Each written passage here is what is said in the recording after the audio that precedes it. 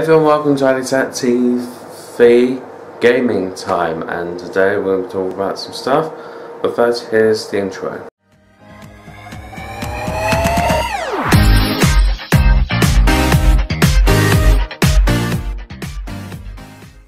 So Star Wars Battlefront 2 was meant to have their roadmap released today as of it got previously stated during the EA Play announcement, I mean after it, that it would be, the roadmap would be um, coming to us at the end of June. Unfortunately now that's not actually going to be happening anymore. As of Friday, um, Ben Walke, the community manager, has said that it's out of our hands and they're just waiting as much as we are. So that actually sucks because the Clone Wars content is supposed to be coming this summer, so the summer months are between July to September, but considering something's already coming in July, I'm assuming August to September. Many people have been thinking, hey, it's coming in the fall, but I'm still going by what the announcement said because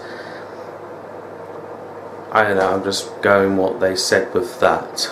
So it is sad, it is, um, that we won't be getting any roadmap for June, but I'm hoping we will get at least something on it and if it does come it has been previously stated or maybe changed that there will be no challenges on the roadmap when it eventually comes. Crash Bandicoot The N. Sane Trilogy is now out on multi-platforms with a new level called Future Tense. If you want to go and play that you can.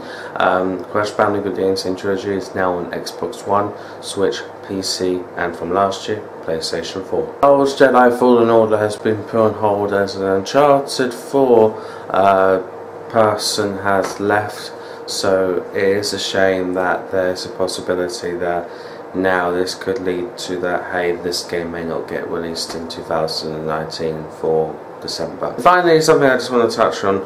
Life is Strange 2 is now on pre-orders for on Steam, the Xbox One store, and also the PlayStation 4. Um, but here's the problem, it's not on Amazon yet. So until it goes on Amazon, I probably won't be playing it or pre-ordering it just yet, but we're just going to have to wait and see how things change. Maybe in August they maybe feel that yeah, it'll be coming to Amazon because that's the main place for it.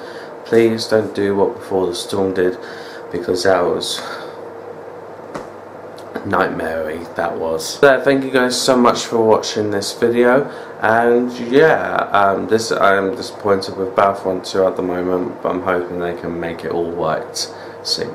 Anyway peace guys see ya.